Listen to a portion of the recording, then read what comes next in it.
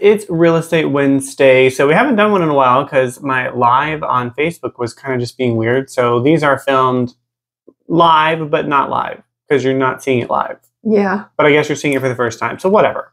But today we figured we would touch on the market because we haven't really talked about the market in a while. We talk a lot about lending and lending hacks and home buyer hacks and all kinds of stuff like that, but we haven't really talked about real numbers for a while. And I think people are wondering what's going on in the market today for Mhm. sure.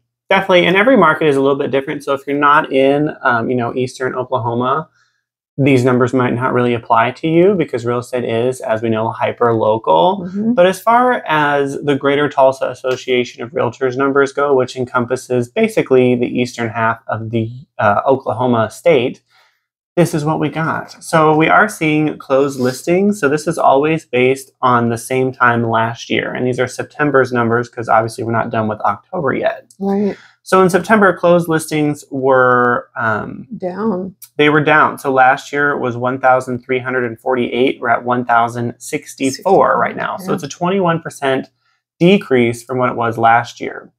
Now, usually holidays are a little bit slower, but obviously last year too, there was a lot of. My hair looks kind of weird. here. You guys seeing that? Looks a little better. um, might just need a think hair. it's okay. Might just need a haircut. Um, so I'm the hair cutter. yeah, mom cuts my hair. Um, so what I'm seeing is, or what we're seeing is, I think it's the higher rates, right? Obviously, people have realized, well, that one to two percent higher rate than what it was last year has decreased my buying power, and now I can't really afford the house I want that I fell in love with when I was shopping, and now that I'm approved for less because of the rate, I'm just going to stay where I'm at. And I think that's, That's- contributing to that number. So, uh, Mhm. pending listings, I don't really care that much about that. Um, but new listings is important to note. We are down not a whole lot. It was 1,516 last year, and this year uh, we, we only made 1,423. So, only about a 6% Oh. difference. That's nothing drastic, but it is a little bit less That's good though. People are still, listing. good. People still need to sell their house, and I Mhm. will say, uh, kind of brings me into the next point. It is still a good time to list your house because if we look at the average sale price compared to this time to last year, it is up 2.38%. So people are still getting more money for their houses even during the winter times compared to last year. Right. So Right. even though there's less people um, Listing. list or not listing but moving because obviously sales are down listings are still up. People still need to sell their home and there are people buying it. And so Mhm, for mhm. buyers a great thing to note is you know if we go down the list a little bit you can see the average days on market has gone up. And what that means is obviously homes are sitting on the market a little bit longer.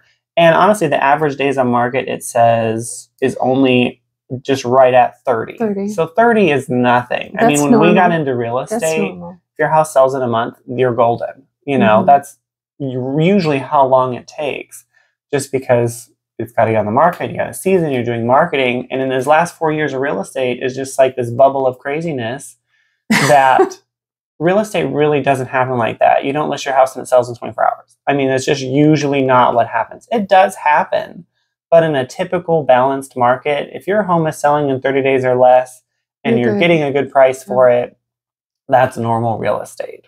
Uh, real estate's not a vending machine. You shouldn't be able to put in money, cash out instantly like that, like what we were seeing through the, you know, pandemic. Um, but what I was going to get at is what's good for buyers is because you know sellers they need to sell. If you're if you're listing your house in the winter, it's because you need to move for some reason, Right. right? And buyers that are buying in the winter or in the winter, sellers need to know those buyers that are buying when it's rainy and cold and not that nice outside, uh, they need to move for some specific reason. They're not just tire kickers. So, but on the buyer side, you know, because we're seeing higher days at market, you do have more room to negotiate. You know, the seller wants their home sold, and at Keller, we always look for a win-win. So maybe the seller gets their home sold, and the buyer gets some of their closing costs pay- paid, or there's some concessions that are offered there that gets you a better deal as a buyer than what you would have gotten even at the lower rates back you know through the pandemic people were paying even in oklahoma 40 50 60 thousand dollars over the appraised value of houses they were overpaying just to get the house at a two and three percent rate. When in reality, that's not actually the best financial decision for your future. Um, uh, what do you say? Your future investments in real estate. Because if you're going to buy real estate, you're going to live in it for several years. I would say seven is kind of the good number because rates always go up and down. Mhm. Home prices on a national average have always gotten more expensive. That's why the house that you bought in the 1990s is worth $200,000, $300,000 more than it was back then. And it's worth that much today because real estate, yes, it may go up and down a little bit. Especially in Oklahoma, though, we don't see these wide swings like you see on the coastal region. So if you're living in Oklahoma, you can bet your real estate purchase will go up in value Mhm. consistently. Um, well, not well, steadily and consistently. Right, I should say.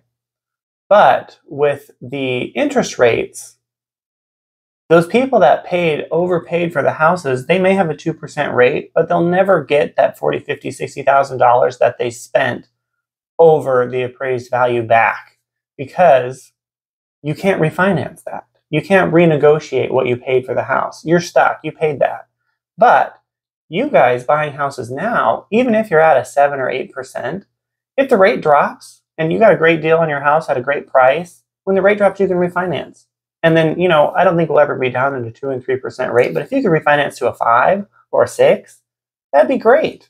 Well, basically, they need to know that it's always good to buy the house. Always. Always good to buy the house. Invest in the real estate. Yeah. You can fix these little issues in the future. Yeah. There's a video that's floating around. Um, I think it's Kevin Hart. He's talking. Um, and he says, I love real estate. Why? Because I know where my money is. People always need shelter. They always need housing. They always need a place to conduct their business. So whether that's commercial real estate or a house, either way, people are always going to need some sort of roof over their head to conduct life. So Right? that's why. Um, that's why. Gotta love technology here.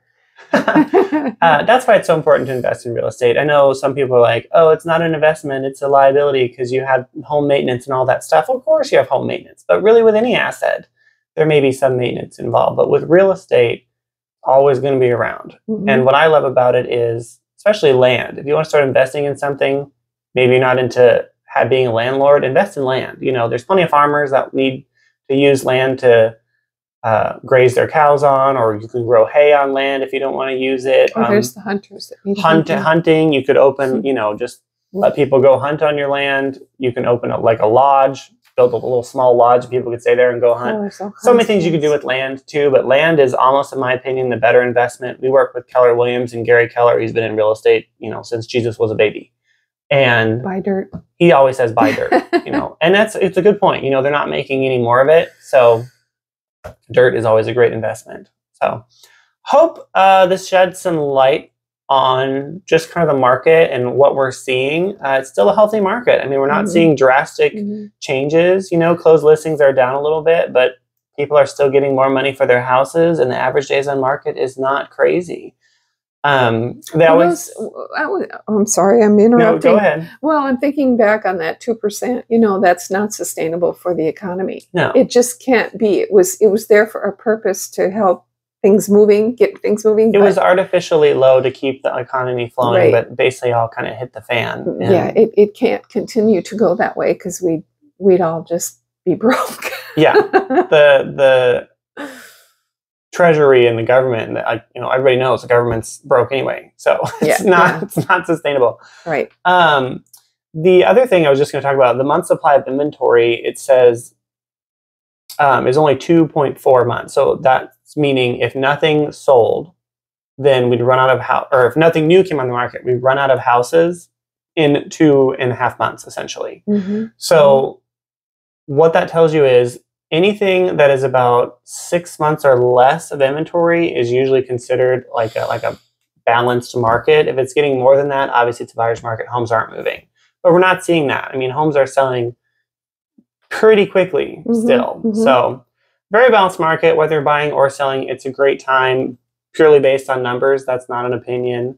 So if I can ever help you or we can ever help you with your real estate needs, whether you're buying, selling, investing, buying land, um, we'd love to help you with that. And we always love running numbers and you know giving people estimates on what things are worth. If you're curious what your home is worth in today's market, we can of course help you with that as well. I will add though, Zillow does give you an estimation, but Zillow doesn't know true. the details. So Zillow's great for a starting point. But if you really read their uh, fine print at the bottom, they will tell you they're wrong half the time. Flat out. They just don't advertise that. uh, the problem with Zillow, though, is it's based on an algorithm, right? So they Right. don't they don't know. Uh, prime prime example was there was three townhouse three townhouses. One of them burns down. Well, because Zillow never goes to your house, they've never seen it. They're just looking at tax Right. records and numbers no physical well, person. that burnt down one sold for like fifty thousand, and then Zillow assumed the other two are only worth fifty thousand now. Mhm. No, no, the one burnt down, but Zillow doesn't know that because they've never seen it. So that's just something to keep in mind. Real estate's always hyper local. That's why there's little pockets, even within Tulsa. Cherry Street's worth more than South Tulsa, and it's, they're both in Tulsa even Mhm. for the same house, even for a smaller house, is worth more in like Midtown and Cherry Street than it is in South Tulsa. It's all location based. So, yeah, It's good. anything else? It's good. All right. Well, that's our market update for you. I hope you guys have an amazing day. Uh, go ahead and like and uh, like this video. Share it with a friend if you think it might help them uh, with their curious curiosities about the market in Eastern Oklahoma. And we'll see you guys in the next video.